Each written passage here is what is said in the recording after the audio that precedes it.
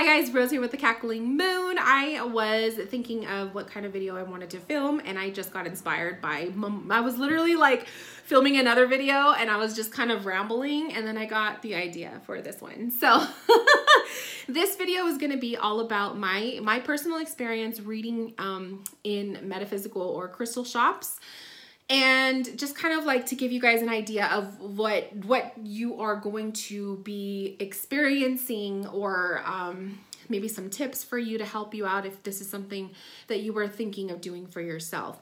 So um, i read for two different metaphysical shops um, one at the end of 2006 2016 oh my god 2006 one at the end of 2016 it was like november december that time.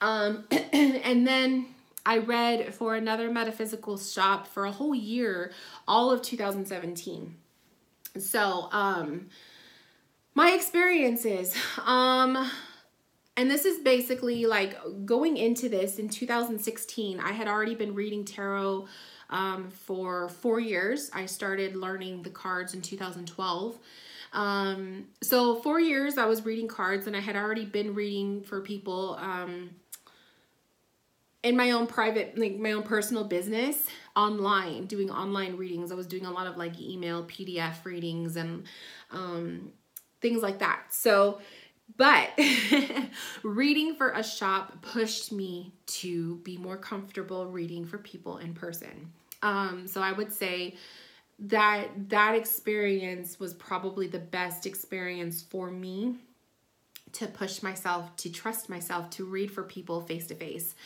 um the first shop i read for i was only there for a month. I did not like the energy of the shop. Um the people that worked there they were very nice but they had a different side to them um the etiquette with the way they would do readings, they wanted it done a specific way. So I wasn't allowed to read my cards the way I would normally approach it. I had to read my cards the way the shop owner wanted them to be read and they want she wanted them read similar to the way she conducted her readings. Um, so first tip or warning for anyone who is thinking about reading in a shop, um, you are under you are pretty much employed by the owner of that shop. And if the owner of the shop wants you to read a certain way they are going to request that of you. Um so i didn't know that going into this. Um i had never read for someone's shop before. And so i found myself very uncomfortable with the fact that this um this shop owner wanted me to do the readings a certain way so I remember like I was practicing. I was doing like practice readings um, to get myself comfortable with her reading style. And the way she wanted it done was, I mean, she wanted you to tap into everything. Um, health was one thing that I was not comfortable reading for. Um, she wanted you to read for their health. And it, to me, the way I read, if you guys were to look at my website, my code of ethics, um, I do not do health related readings. I am not a doctor. I don't want to do any kind of um, readings that would be along the lines of, of a doctor consultation. That is not what I do. So that was the first red flag for me with that shop. and after a couple of times, I just was so uncomfortable. Um, I remember I even just stopped reading the way she wanted it to be done after she was, because like for the first couple sessions, she would kind of hover around to see if the clients were happy with the way I was performing. Um, and it was very uncomfortable. It made me feel like I was some kind of a, uh, just some entertain source of entertainment, you know, like just I don't know, it just felt really weird. I felt like a, a circus person, you know, like just performing for the sake of everyone else. And the whole like the integrity of the reading was compromised at times because I was so focused on trying to perform the way she wanted it done that I wasn't tapping into my my own way. And so didn't like that. Um, and I ended up not going back. I didn't show up. I didn't show up and I I sent her a very vague email just kind of giving her bullshit reason why I wasn't to be be able to read for her anymore. And I didn't pick up my last check. So I left that as a donation to her store. um, that's how mortified I was of that experience. It was very negative to me and it was very emotional. I remember I cried about it to my husband um, because I felt so bad. I felt like I was being a bad person by compromising the readings for the sake of the way that this woman wanted it to be read. And so I just, it was not it was not a positive experience at all. Um, and to this day, I've never stepped foot into that shop again. So it's just not, it was not my piece of, not my piece of the pie. Um, the second shop I read for was a really, really amazing experience. I loved the owner. She was amazing. She was actually a really good spiritual mentor to me. Um, I attended the um, some of the meditation classes that she would host. There, it was just so powerful to sit in a circle with other people and just meditating for like I think we would meditate for an hour to two hours. Kid you not. Um, and it was just freaking amazing. Like my mediumship leveled up from her from her mediumship um, from her meditation classes and from the psychic medium class that I took um, in her shop and so she has a medium um, that taught a psychic class um like it was like a psychic development class and it was just pretty much like intro to mediumship and I freaking leveled up in that class. And so my experience from her shop was so much more much more positive. Um and and she only took a small she took a smaller cut from my pay. So the first shop, um, this is like another thing for you guys. Sorry, this is so jumbled. I'm just rambling. Um, when you read for someone's shop, chances are you could set your own prices, but it depends. Sometimes the shop will have specific prices already set. So the first shop I read for, they had specific prices already set, um, set up. So it was like $85, I think, for an hour. I think it was like 50 something or I don't know, for half an hour. I don't really remember and they took 50%. So if I was doing, you know, a $50 reading that day, I only made 25 bucks off of that reading. Um, and I would keep my tips, but she took a percentage of the tips as well. So um, that was kind of like if you weren't doing any readings that day, you didn't make any money. Um, and just the 50% taken out of your reading was it was it was crazy. It was like you could be in a session for an hour with a client and you realize you're only getting paid half an hour's worth of wages. So it's it's a little tough. Um that's got to be like one of the biggest reasons why I decided not to read for shops anymore. Um, the second shop I read for, she only took 35% out and um, she let you keep your entire tip. So that was nice. Um, and I started teaching tarot classes in that shop too. So that was really cool. I think the tarot classes, like and when you had a tarot course, she was taking 40% out. So that's the other thing is like if you're reading for shops, get ready to have a portion of your money made come out. You're not going to get 100% of it. No.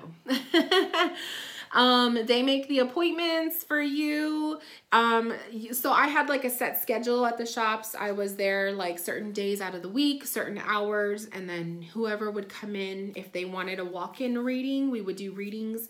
Um, sometimes they would they would set the appointments for me ahead of time, so I would I would show up for the for the day, and they would say, "Okay, Rose, you have two appointments at this time. Anyone who walks in and wants a reading in between that, you could do it."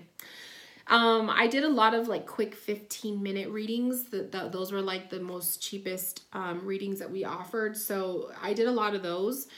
Um, and I want to say that experience helped me. It taught me one, it taught me to be comfortable reading for people in person. Big one. Um, the experience also taught me how to time manage myself. so, but at the time when I was reading in those shops, I was doing um, email readings. I wasn't even doing these video readings that I do now. And so I was only used to, you know, typing on the computer and I wouldn't realize how much of my time, my personal time was going into typing those email readings. When I'm reading for people in the shop, you're timed because that person is only paying for a certain amount of time block for you with you. So you don't want to go overtime, otherwise, you have to have that uncomfortable conversation where it's like, oh, well, we went 15 minutes up, so it's going to be like another $25 or whatever. Half the time, you know, they're more they're more than welcome to um, they're more than willing to pay, but sometimes you'll get those people who don't want to pay extra. Um, so you I had to get comfortable with okay the, the reading is done you know like getting into my groove of how do i how do i end the reading so that this person knows it's done and i'm not pulling cards anymore so um that was another thing that it taught me how to do that it taught me to me be more be more comfortable and be more upfront with people about their their reading. I learned how to engage with the client. I learned how to ask questions or allow the client to talk while I shuffled. Um, so I want to say I really increased my reading style, just kind of became what it was um, throughout that experience, that whole year that I read in the shop. Um, I did have some clients who would come back for me. so that was always fun because you would see like maybe once a month a, a, person would come in and they would they would specifically request a reading with you. So that's always a good feeling because you knew that you made that connection with that person. Um, and then I also experienced those those people who would just throw out shitty questions over and over and over again, not paying attention to what you're telling them. They just want to know yes, no, yes, no. So that was another lesson I learned was um, the yes no questions. How to read for that and just get it over with. Um so reading in a shop you're gonna get you're gonna get those those clients who um are skeptics. You're gonna get the clients who are asking the yes no questions. You're gonna get the clients who are testing you.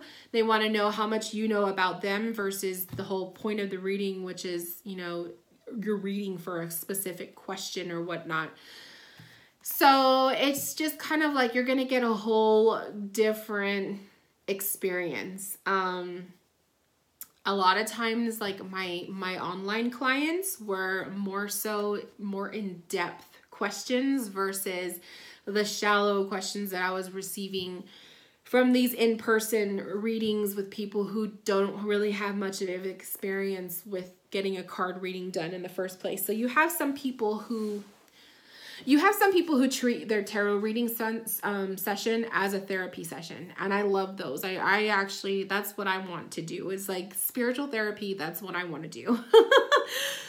but then you'll get those people who will pay for a reading who are what does so and so think of me? What does so and so want? Why do they leave me? How come they're cheating on me? Are they cheating on me? How many people do they sleep with right now? Like you're at you're you're being asked questions like that and you're just kind of like, "Oh, this isn't really you're not the kind of client I would usually go for."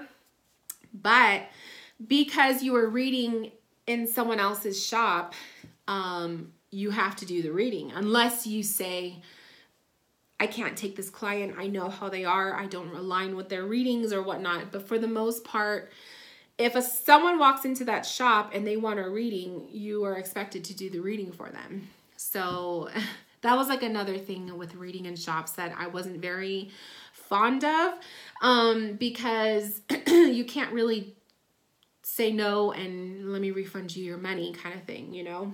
Like that the shop owner wants to make their money. Um, so after a while, like after a while of reading in someone else's shop and having a portion of my money, like my time taken from me, um, you know, I understand the shop needs to make their money and whatnot, but after a while, it got to me. It, it made me feel, God, I, this person's paying like a hundred dollars to sit with me for an hour. I should be able to keep all of that. so like after a while it really like started making me think if I just push myself to do this on my own time, I could be making this money and keeping it and it would all be mine because it's my own business. So that's where my head kind of went after a while. I started to realize I don't want to read for someone else's business. I want to read for my own business. And so um towards the end of 2017 i started to taper away like i started to disconnect um, from reading in the shop and and then other stuff happened with my personal life with my day job and i couldn't fit the shop in the schedule anymore. So I left. And I haven't gone back. I haven't read for any shop since. Um, I've solely been focusing on TCM, just me. And I don't have any desire to read for someone else's shop ever again. Um, I feel like the experience was worth it. I do. I feel like it taught me stuff. It helped me. it definitely helped me step outside of my comfort zone with reading in person. Um, but I do prefer being in control of my own who I book readings with. Do I want to read for you again kind of thing. Um, I like to be in more control of my reading style and definitely I like to see 100% of the the money made coming to me. So that's just my little insight for you guys of my experience working in the shops. Um, if you guys have any questions or you have, you know, anything you would like to add or ask, um, comment below. and I would like to hear what you have to say. Um, otherwise, thank you guys for tuning in and I will talk to you soon. Bye, my loves.